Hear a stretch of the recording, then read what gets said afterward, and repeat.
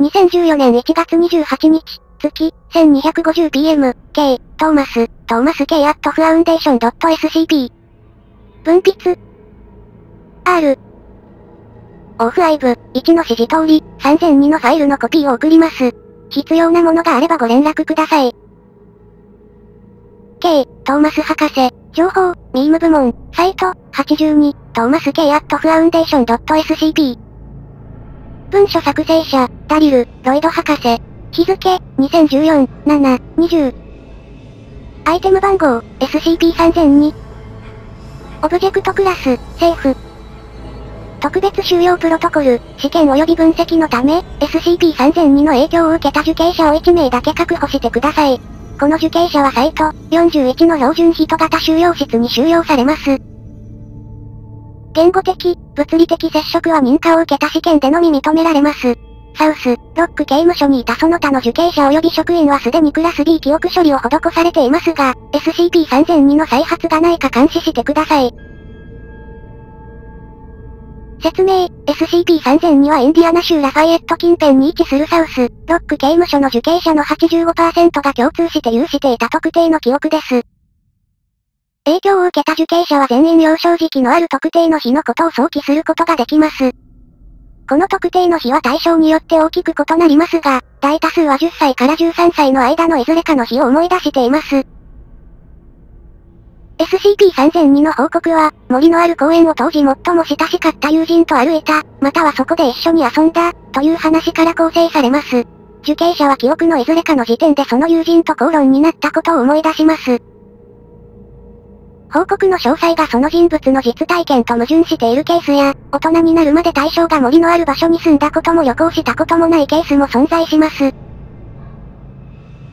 SCP-3002 が最初に発見されたのは、刑務所に勤務していた心理学者であるスーザン・フェアバンク博士が、すべて同一のものとみられる特定の記憶について多くの受刑者が言及したことに気づいた際のことです。フェアバンク博士が心理学の掲示板でこの共有記憶について報告したところ、エージェントがそれに気づき、事件は財団の注意を引きました。初期収容時、受刑者は SCP-3002 の詳細を鮮明な映像と共に想起することが可能でした。数回のインタビューの後、対象は次第に SCP-3002 の詳細について想起できなくなっていき、当該記憶について思い出せる範囲は通常の記憶と同水準まで低下しました。この理由は不明です。ホイ3002、1巡、ベイレッシュは不法侵入、過重暴行、自動車運転過失致死といった複数の罪状により2006年にサウス、ロック刑務所に投獄されました。ロイド博士がインタビューの実施者に選ばれました。ロイド博士がインタビュー室に入り、着席する。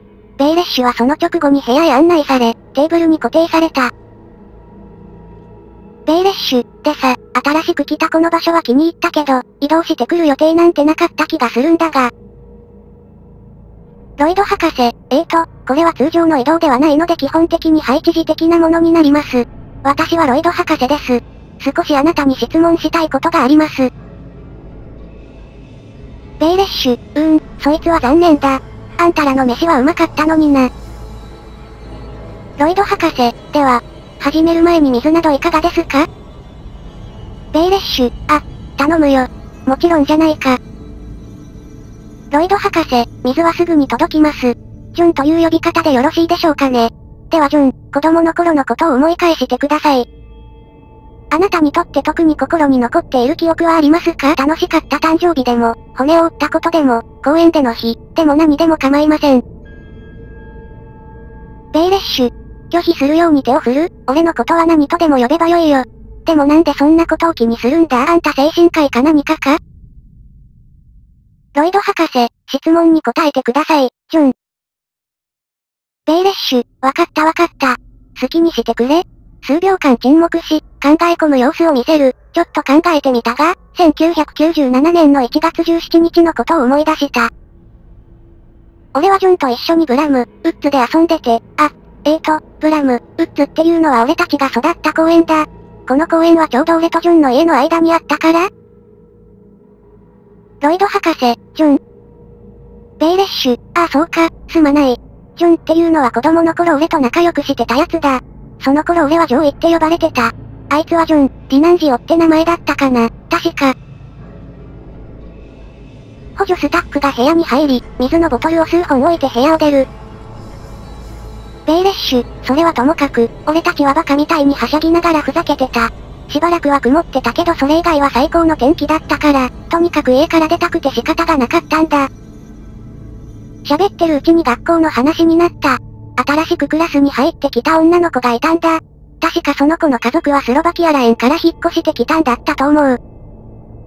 だけどジョンのやつ、その女の子はとんでもないクソ女だって何度も何度もレイシストみたいにわめき出したんだ。それがとにかくすごく妙だった。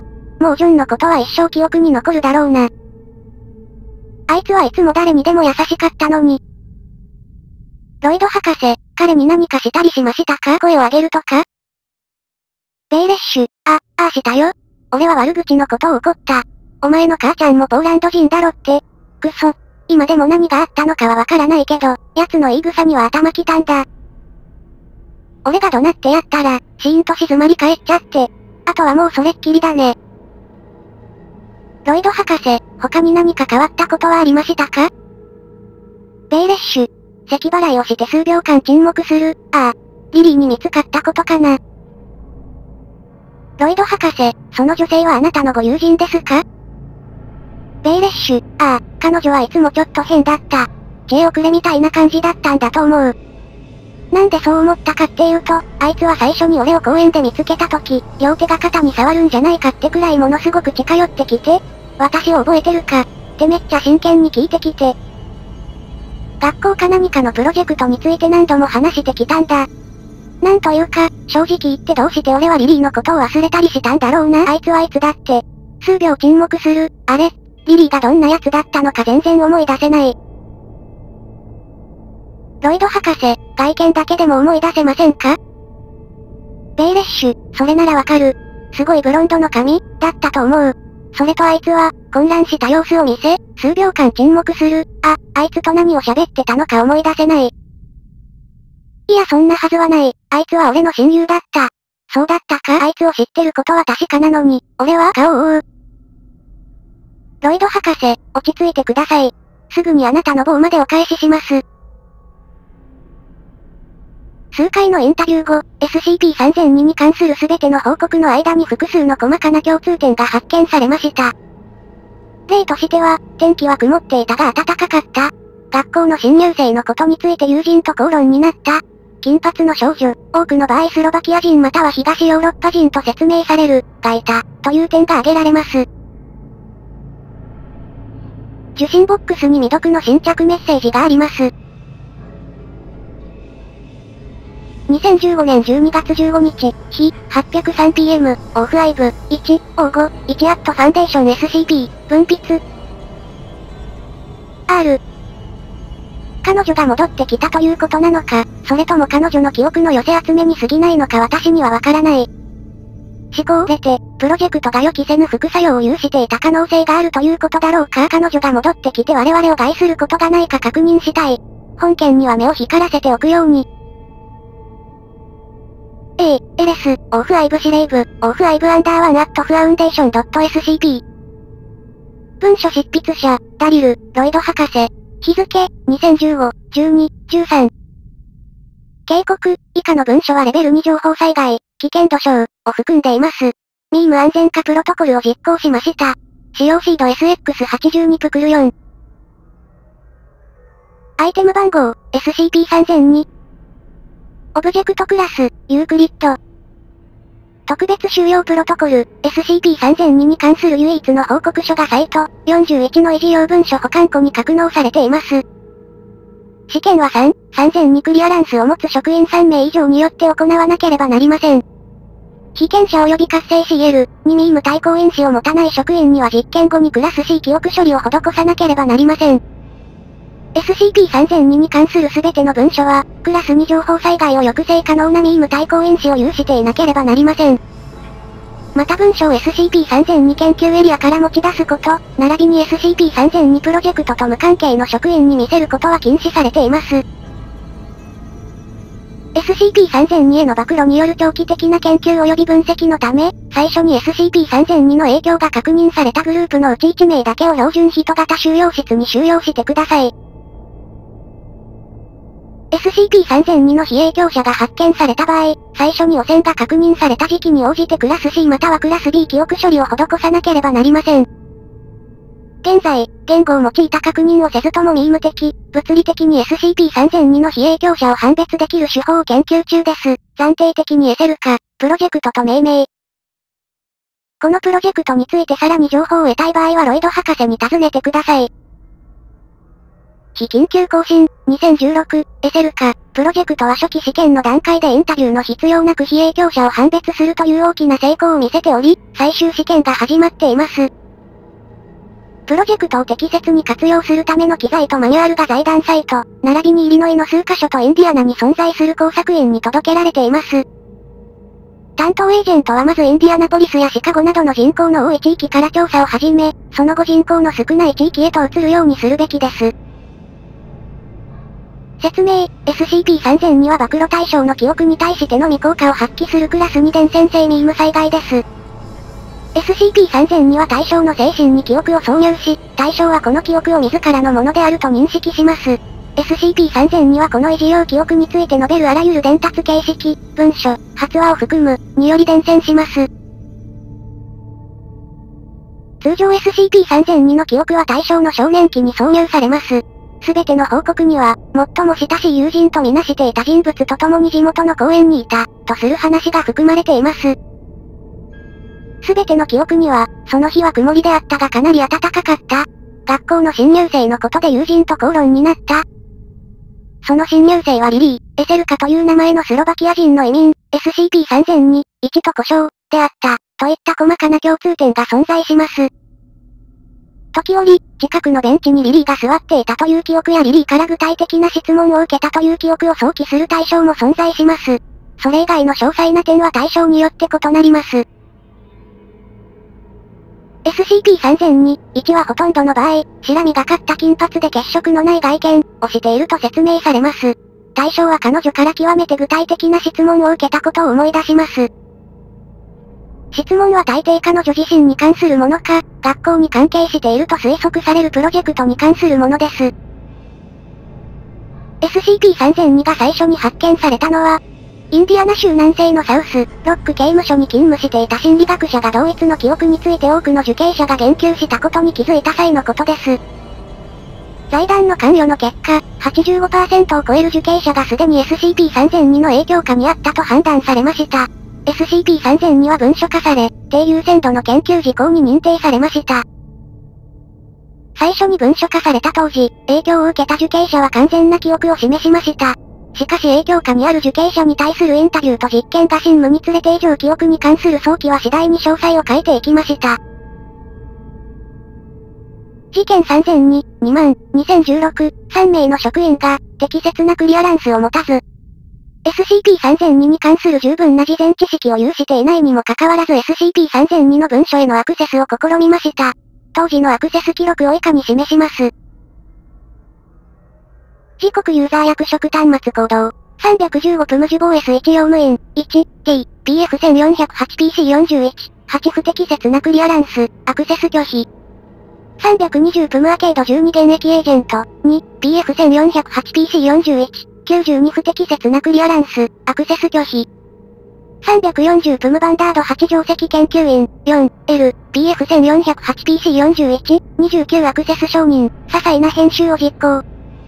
625プムレイソーヒット、編集を差し戻し。635プムバンダード8定石研究員、4、L、PF1408PC41、8アクセス承認、些細な編集を実行。640プムレイソーヒット、編集を差し戻し、ファイルをロック。レイサの職員は3名全員とのインタビューと記憶処理を行いました。アンダービルト研究員とのインタビュー記録は以下の通りです。レイサオフィサーのワイトリーが尋問室に入る。アンダービルト博士はレイサの保安員により事前に入室させられていた。レイサ、ワイトリー、ダミアン、アンダービルト博士、私は記録情報セキュリティ管理室のオフィサーのワイトリーと申します。こうしてお話ししておりますのは、最近あなたがなさった、あるアノマリーの文書に対する編集について懸念があったためです。アンダービルト。困惑した様子を見せる。何の話をしてるのかよくわかりませんね。ワイト。レイサ、ワイトリー、アンダービルト博士。私のことはワイトリーかオフィサー、ワイトリーと呼んでいただきたく存じます。今お話ししておりますのは SCP-3002 の文書のことです。昨日の夕方、あなたのアカウントと個人用端末から文書への編集がありました。アンダービルト、すみません、オフィサー。しかしそれがどのアノマリーなのかがまだわかりません。今現在複数のプロジェクトに参加しておりまして、取り組みんでいるファイルや報告書はいくつかありますが、どれも私の編集権限の範囲内です。レイサーオフィサー、ワイトリーはブリーフケースを開き、1枚のファイルを取り出す。ファイルには SCP-3002 に関する紙媒体の文書が入っている。アンダービルト、ああ、なるほど、このアノマリーですね。些細な間違いを見かけたのを思い出したので、暇を見つけて修正を入れました。レイサ、ワイトリー、我々の記録によれば、あなたが SCP-3002 の文書にアクセスしたのはこの時が初めてとされていますが、アンダービルト、本当ですか？いや、確かに見たことはあるはずです。数秒間沈黙する。あ、待ってください。はっきり覚えています。昼食を食べに行く途中でロイドの背後から報告書が見えました。レーサ、ワイトリー、それはありえません。SCP-3002 の性質上、すべての情報と文書は制御された環境下でしかアクセスできません。本来は特性のミーム的ロックによってアクセスを防いでいるのですが、あなたは管理権限を用いてロックを回避しています。アンダービルト、いいでしょう。ですが私が行ったのは些細な文法的編集であるという事実に変わりはありません。レーサ、ワイトリー、それも事実とは異なっているようです。確かに文法的な編集も行われてはいますが、SCP-3002 というフレーズや同様の箇所が、リリー、エセルカに編集されています。また集合記憶内の存在がスロバキア人であるという記述を削除してもいますね。アンダービルト、しかし彼女はスロバキア人ではありません。子供の頃から彼女のことは知っていますし、話す声に鉛があることもわかっています。彼女はスロバキア人ではありません。我々の報告書は事実に基づいたものであるはずです。だから私は事実にのっとり、考えてみたら彼女がどこから来たかなんて覚えてない。レイサ、ワイトリー、ご協力ありがとうございました。アンダービルト博士。その後アンダービルト博士は SCP-3002 の影響下にあることが判明しました。彼はクラス B 記憶処理を施され、サイト726に再配置されました。ロイド博士が SCP 文書を不適切に扱っていないか調査を行いましたが、ロイドは特定の研究エリアから一度も SCP ファイルを持ち出しておらず、アンダービルトはそのエリアにアクセスしていなかったことが確認されました。SCP-3002 が彼に影響を及ぼすことができた理由は現時点では不明であり、感染媒体は一切確認できていません。受信ボックスに未読の新着メッセージがあります。2016年8月8日、月、849pm。オフアイブ、2、オフアイブアンダーツーアットファウンデーション .scp、分泌。R、エレスの思っていた通り、これは副作用ではないようです。彼女はレテを知っている人間を優先して狙っていると思われます。我々がプロジェクトに参加させていた全職員とサイト、E に残っている全物品を処理するよう私から RRH に通達しましたが、時間が足りなかったため RRH は傍受を避けるために現地を離れざるを得ませんでした。E、ペルーン、オフアイブ司令部、オフアイブアンダーツーアットファウンデーション .scp 文書執筆者、ダリル、ロイド博士。日付、2016、8、4。警告、以下の文書はレベル X 情報災害、危険度極大、を含んでいます。ミーム安全化プロトコルを実行しました。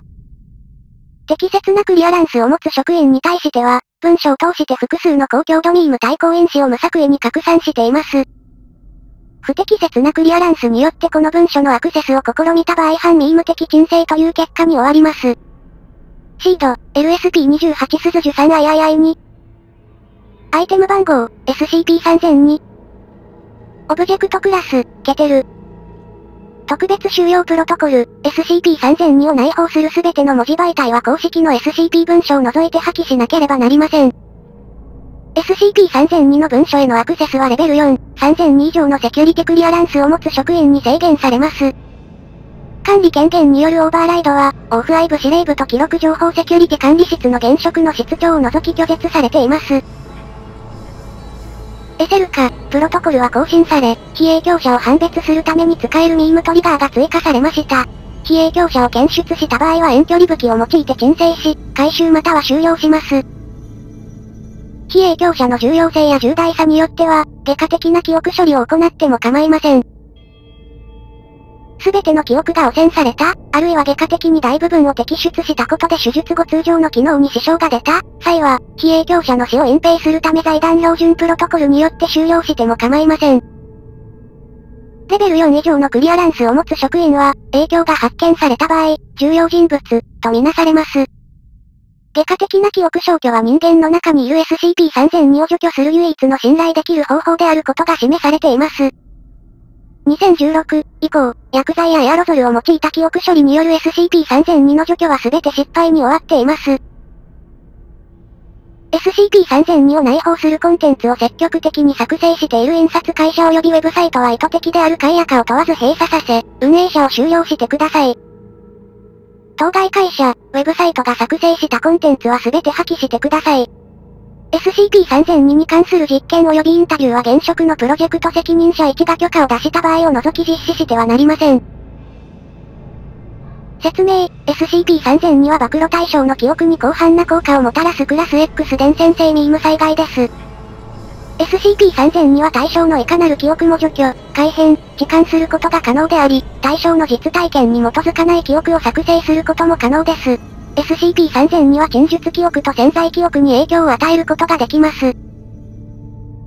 非影響者は改変された記憶を自分のものであるとみなし、その記憶に従って行動します。以上のように SCP-3000 には対象の人格や行動に影響を及ぼす能力を持ちます。SCP-3002 の感染媒体は特定の偽記憶、子供時代に森を歩いた記憶、友人と口論した記憶、リリー、エセルカという名前の移民の少女に関する記憶、の伝達であると考えられていました。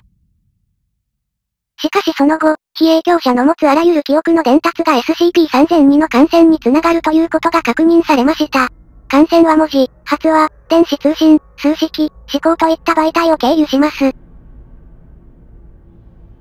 感染は、リリー、エセルカ、の偽記憶に関する言及を含まないこともあり、その場合でも SCP-3002 の非影響者は無関係の記憶や体験の一部としてその名前の人型の女性を思い出します。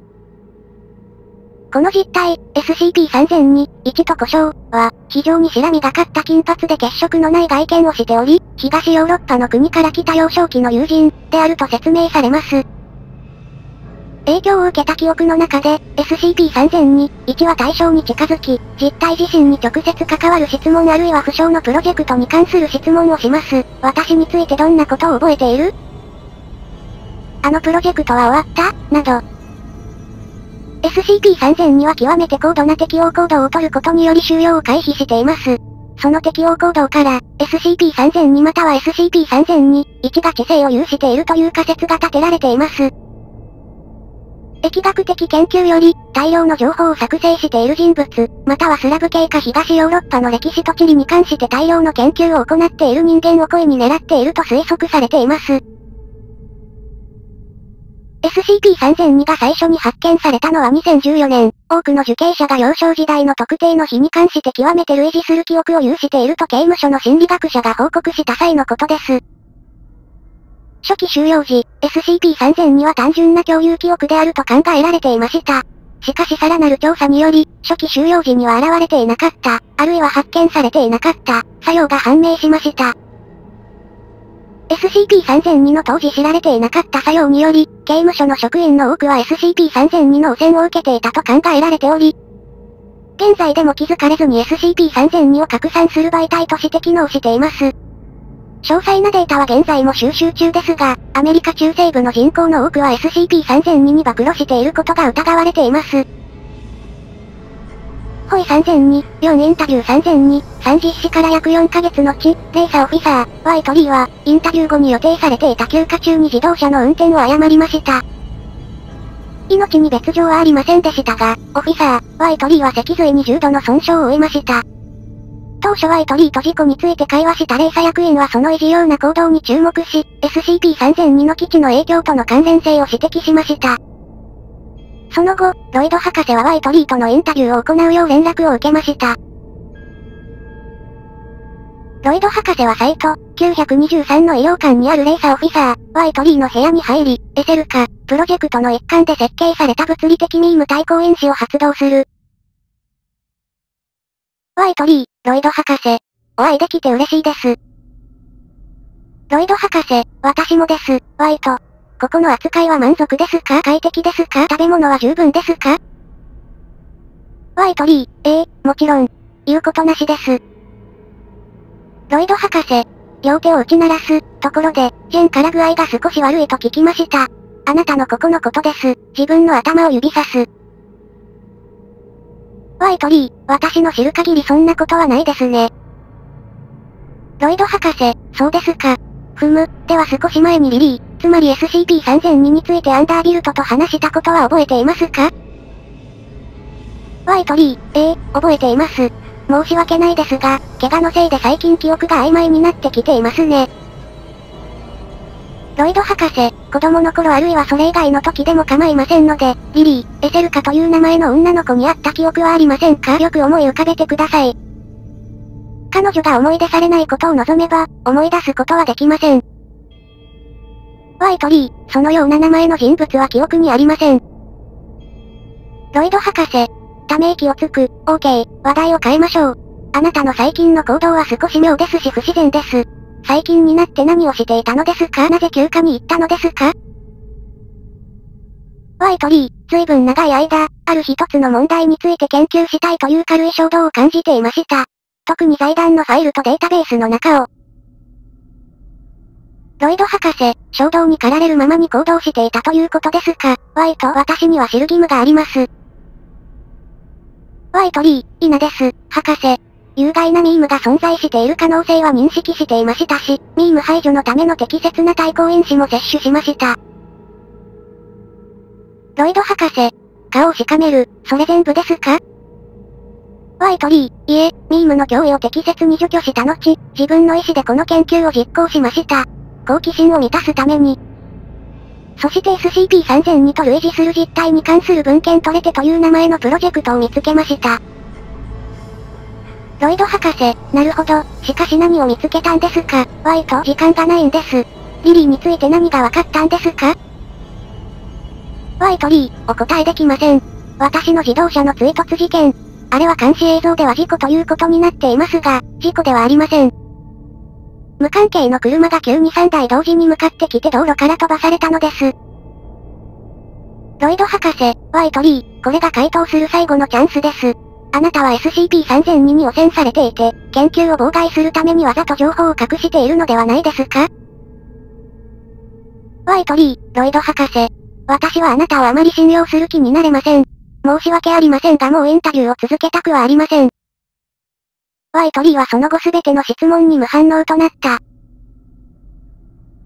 レイサーオフィサー、ワイトリーは、アンダービルト博士との接触時点より SCP-3002 の影響下にあったことが確認されました。ワイトリーが財団と SCP-3002 にもたらす混乱と危険性から、終了が推奨されました。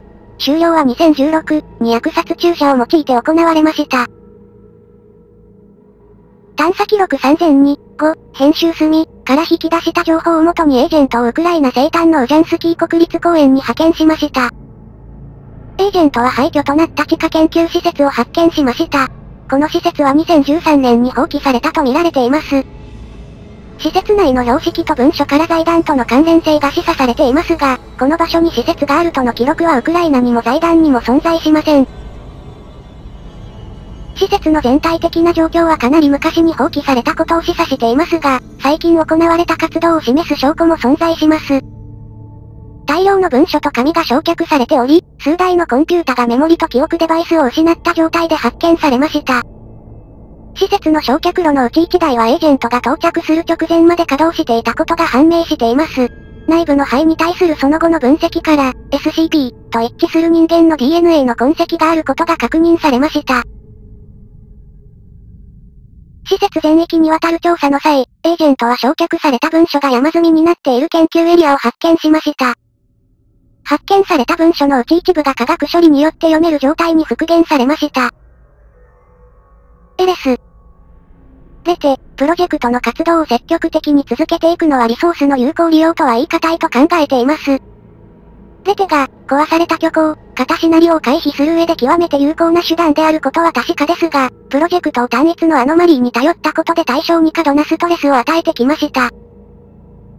手術に新私有的な機器を用いているせいか、彼女の運動能力と認識機能は次第に低下しています。認識機能の悪化の一例として、彼女は自身のかつての名前や故障に返答することもそれらを名乗ることもなくなりました。それに加えて彼女は技術者と働くことに対し一層消極的になっており、手術を逃れようと自傷行為に訴えるまでに及んでいます。彼女は数日前に自殺を試みたため、現在は常に監視下にあります。具体的な方法ははっきりしていませんが、現時点では食事中に食器を隠し持ち、数週間減った後にそれを自身に刺したと考えられています。これまでは、彼女が収容以前に楽しんでいた様々な趣味や活動、具体的には写真や読書などをさせてやることでこの種の精神的苦痛を与えないようにしていました。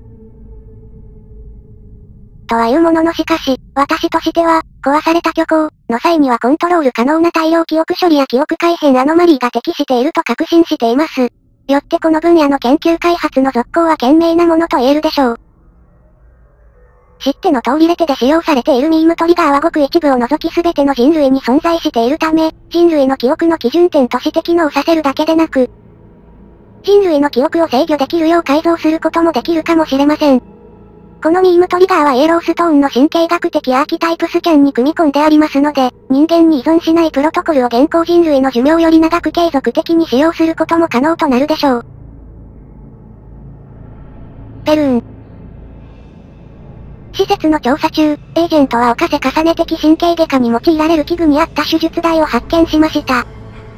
同室で発見された医学文書と拘束具は、この場所で手術を受けた被験体が手術中も意識を保っていたことを示唆しています。また機器の摩耗から頻繁な使用があったことが示唆されています。ご覧の文書は SCP-3002 のアーカイブされたバージョンです。現行版を参照しますか？文書執筆者、コナー、ケイチ博士。日付、2017、4、20。アイテム番号、SCP-3002。オブジェクトクラス、ケテル。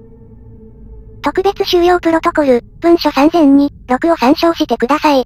被汚染者は全任職員、家族、知人も含めて全員殺処分、殺死余分しなければなりません。オフアイブ、1またはオフアイブ、2による審査を受けた職員でなければ本文書及び残存する職員にアクセスしてはなりません。説明、SCP-3002 は知性を持つミーム実体です。SCP-3002 は MK、クラス世界終焉シナリオ1を引き起こす試みが可能であり、実際に試みています。SCP-3002 は決まった形態を持っておらず、アクセスしたあらゆる情報や記憶の内部に存在しています。人間の精神の内部にいるとき、SCP-3002 はその人間の記憶の擬態、改変、除去が可能です。SCP-3002 が起こす改変には限界が存在しないようです。SCP-3002 が記憶や情報に擬態する際、元の情報も新たな SCP-3002 個体へと変化します。このようにして SCP-3002 は人間のあらゆる情報及び記憶の中に存在することが可能です。人間の精神が全ての側面で汚染を受けた場合、その人物は事実上意識して肉体を動かす能力を失います。基本的に、SCP-3002 は犠牲者に通常通りの生活と行動を行うことを許します。しかし未暴露の人間と会った場合、その人物の元に集まるようその場の全ての人間に働きかけ、強制的に暴露させます。SCP-3002 に操作されている間、犠牲者は自己生存本能を示しません。SCP-3002 は極めて敵対的であり、残存する財団職員を積極的に見つけ、殺害または汚染しようとしています。彼女はレテ、プロジェクト及びサイト、E、ウジャンスキー国立公園に位置する非文書化財団施設に関与しているあらゆる職員を捜索しているようです。SCP-3000 には情報交換を通じて、人から人へ拡散することが可能です。彼女はあらゆる情報に擬態することができるため、すべての情報が SCP-3002 の感染媒体とみなされます。現在の仮説では人口の72%が汚染を受け、2014以降に作成された新しい情報及びその内容の84%が SCP-3002 を含んでいると考えられています。これに加え、初期収容時より一部の重要な財団職員が事実上 SCP-3002 の支配下に入っていました。彼女は財団内部のプロトコルや計画にアクセスすることで、検知や分析を長きにわたり的確に逃れることができました。文書3002、6SCP-3002 の汚染は大規模に広がっており、収容は不可能です。残存する職員は SCP-3002 の収容方法を提案することができます。提案、さらなる救援を求めて基地の要注意団体及び要注意人物に連絡を取る。ケント、メイフィールド博士。司令部の返答、承認、9、4、続報。世界オカルト協会、返答なし。異事用事件捜査課、返答あり。オフライブ、1が SCP-3002 の存在を確認。返答は破棄された。マナによる事前財団、返答なし。境界線イニシアチブ、返答なし。ロシア連邦軍参謀本部情報総局、P、部局、返答なし。イスラム、アーティファクト開発事務局、返答なし。プロメテウス研究所、返答なし。カオス、インサージェンシー、返答なし。アンダーソン、ロボティクス、返答なし。マーシャル、カーターダーク、返答あり。オフライブ、1が SCP-3002 の存在を確認。返答は破棄された。アウイクルエット返答はハードドライブとデジタル情報デバイスが詰められた箱であった。これらには異事用芸術の複製並びに計画が記録されていた。蛇の手、以下のメッセージを返答。今回は手助けすることができません。我々の中にすでに彼女が紛れている恐れがあります。WL。何者でもない、以下が記された小さなメモで返答。これは予想して叱るべきだったろうに。提案、すべての情報と汚染された人間を破壊処分し、SCP-2000 の使用により人類を再興する。コナー、テイチ博士。司令部の返答、却下、2、8。続報、続報はなし。SCP-2000 の場所は我々の現在地から非常に離れている上に連絡手段が確立されていないため、SCP-2000 とその職員はすでに汚染されているというのが我々の現在の共通認識となっている。我々はこの試みをリスクに値するものではないと考えている。A、エレス、オフライブ、1。提案、一時的に SCP-3002 を抑制することが可能な反ミームを作成する。ケント、メイフィールド博士。司令部の返答、承認、5、4。続報、レーサで使用されていたミーム対抗演習をもとに全てのミーム的脅威を抑制できる反ミームが作成されました。試験中、SCP-3002 には効果がないことが判明しました。SCP-3000 には、通常の記憶に対して影響を与えるのと同様の手法で反ミームを改変したと考えられています。SCP-3000 には反ミームに対抗できると推測されたことから、人間の精神に反ミームを隠し、効果的に無自覚のエージェントとする可能性の探索を開始した。これを推し進めた結果、この方式によって6名以上の人間が汚染されたことが判明した。非汚染者には複数名のオフライブ司令部メンバーが含まれる。C、グリーン、オフアイブ、8。提案、ガニメで、プロトコルを開始する。我々は再起しなければならない。コナー、テイチ博士。司令部の返答、却下、2、6。続報、続報はなし。ここまで過激な行動を取る理由はない。C、グリーン、オフアイブ、8。提案、彼女を止めうる方法を見つけ出すため、レテ、プロジェクトの再調査を行う。コナー、テイチ博士。司令部の返答、却下、1、3、続報、続報はなし。プロジェクトの再調査をする理由はない。そこから得られるものは何もないだろう。さらに言えばオフアイブ司令部は君が汚染されていると信じるに足る十分な証拠を持っている。収容は直ちに行われる。A、エレス、オフアイブ、1。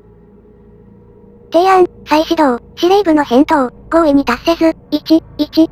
続報、データ未入力、